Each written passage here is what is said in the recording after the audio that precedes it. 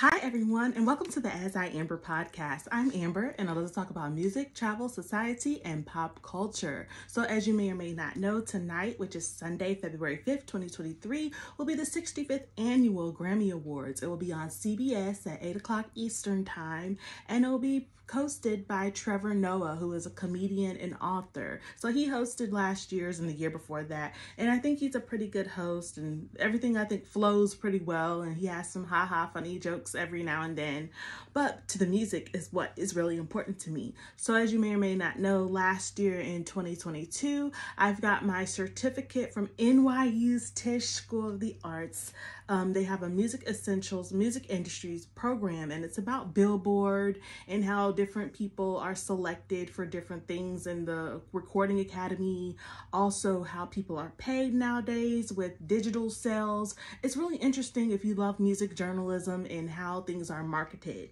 So tonight is the Grammy Awards, and I just want to talk about the categories and the performers or speculated performers and artists. So as you know, Beyonce is coming in with the home run. Um, she's speculated to win. You know, she is the most tied with Mr. Quincy Jones for having the second most Grammy wins in history. She has 28 Grammys. So if she wins some more tonight, she'll be in the record books.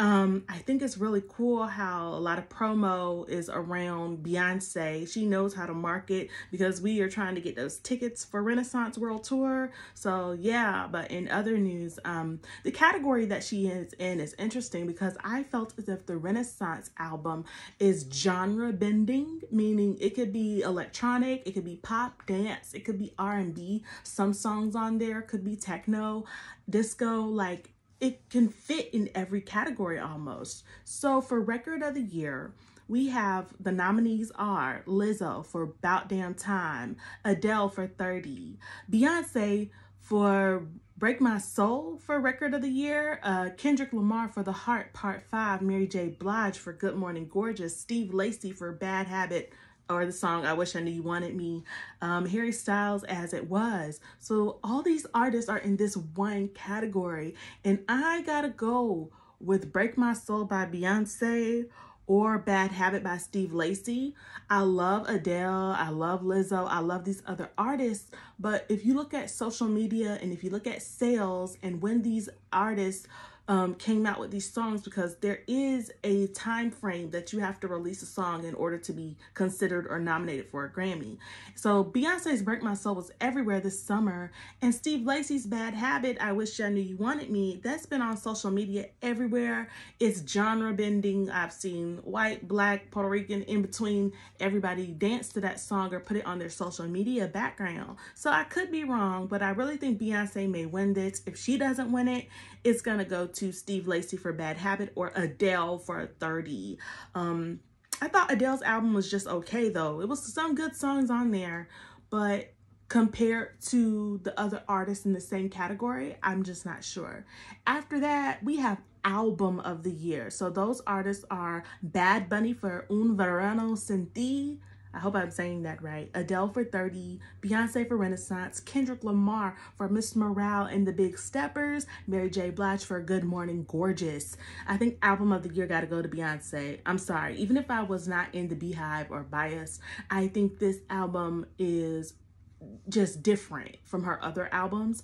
Every song on there was a, a bopper. Like you didn't have to worry about oh, this album only got one good song on it. I really personally, I like different genres of music. I respected her artistry and different people on the album with the background writing, what the dream, um, Nile Rodgers, Raphael Saadiq. A lot of people were behind the scenes with this album, and I really think it should win Album of the Year. For Best New Artist, I wanted to go to Muni Long for hours and hours because that song was everywhere. Latto is in this category. I don't consider her a new artist, but um, some people consider her a new artist because this is her first like mainstream album. So I don't know the qualifications and everything about that. I have to get back with you on that. But I do think Muni Long should win for hours and hours because that was all over radio. Even my mom and dad know that song. Um, the solo pop performance, I think it should go to pop is an interesting category because it's like what is considered pop nowadays. Some stuff sounds like R&B to me, some stuff sounds pop, but we have in this category Doja Cat for Woman, Easy on Me Adele, about Time, Lizzo, Bad Habits, Steve Lacy. So I think it could go to, or, and we also have Moscow Mule by Bad Bunny. Now, Bad Bunny is super popular overseas, Latino, like he speaks in Spanish and sings in Spanish. I think that uh, Bad Bunny, Doja, or Steve Lacy might win for Best Solo Pop Performance. For Best R&B, I wanted to go Chris to Chris Brown for Breezy. Um, and I think it could also go to PJ Morton for Watch the Sun. If we are strictly focusing on the music and not their personal lives or anything like that, it could go to Chris Brown or PJ Morton. I'm a fan of both. Uh, for traditional R&B, we have Snoh Aalegra for Do For Love, Keeps On Falling, Ella Mai, Plastic Off the Sofa, Beyonce, Around Midnight, Adam Blackstone, and Jazmine Sullivan. Now, I don't know what they mean by traditional R&B, but Do For Love is, you know, one of the songs by Bobby Caldwell, but Snoh Aalegra, she did her own cover of it and it's been on social media everywhere. So she might could win because it's popular on TikTok and Reels on Instagram. But then we got Babyface, the OG R&B songwriter, and Ella Mai on Keeps On Falling. So that they might win that too. Also, we have Plastic Off the Sofa by Beyonce. I think the only people that really know the song are people who are fans of Beyonce or actually listen to the whole album. Because if you don't listen to Beyonce, you might only think Break My Soul and Cuff It because that was all over radio. But um, I could be wrong. This is a kind of wild card category. Then we have Best R&B. And for Best R&B, that's Cuff It and in that same category, we got hours and hours. So if Muni Long beats Beyonce, ooh wee, that's gonna be real interesting because I do think those songs were popular, whether it was the Cuff It Challenge, where it was the hours and hours on R&B adult radio. Um, for progressive R&B, there's gonna be Moonchild um, for their album Starfruit and Tank and the Bangas for Red Balloon. I love both of those groups.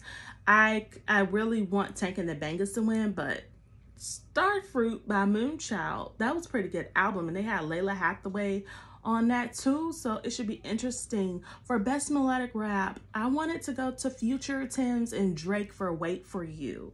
Um, I thought it was a really cool, like, genre gumbo of artists on this one song. We got Tems representing the motherland. We got Future and Drake for the US. So I think all of them on that one song was pretty cool.